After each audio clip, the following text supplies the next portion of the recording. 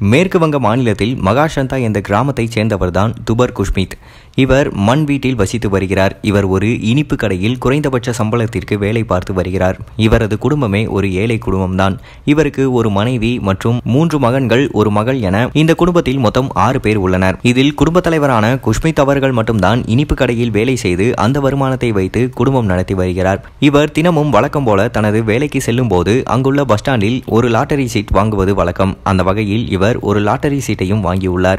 பின்னர் ஒரு நாள் இவர் தனது வீட்டில் அமர்ந்து பழைய சோறு சாப்பிட்டுக் கொண்டிருக்கும் போது திடீரென இரண்டு பேர் இவரை வீட்டிற்கு தேடி வந்துள்ளனர். உனக்கு லாட்டரி சீட்டில் இரண்டு கோடியே எழுபது லட்சம் ரூபாய் விழுந்துள்ளது என்று சொல்லியுள்ளனர். இதை கேட்டு சாப்பிட்டுக் கொண்டிருந்த பழைய சோறை ஓரமாக வைத்துவிட்டு அவர் தனது லாட்டரி சீட்டை எடுத்துக்கொண்டு உடனடியாக வெளியே வந்துள்ளார். தனது லாட்டரியில் உள்ள நம்பரை சரிபார்த்த போது அவருக்கு இரண்டு கோடியே எழுபது லட்சம் ரூபாய் விழுந்துள்ளது உறுதியாகியுள்ளது. பின்பு அந்த ஏழை ஒரே நிமிடத்தில் பணக்காரராகவும் மாறியுள்ளார். குஷ்மீத்திடம் இந்த பணத்தை வைத்து என்ன செய்ய போகிறீர்கள் என்று கேட்டபோது இந்த பணத்தை வைத்து தனக்காக சொந்த வீடு ஒன்று கட்ட வேண்டும் என்று அவர் கூறியுள்ளார்.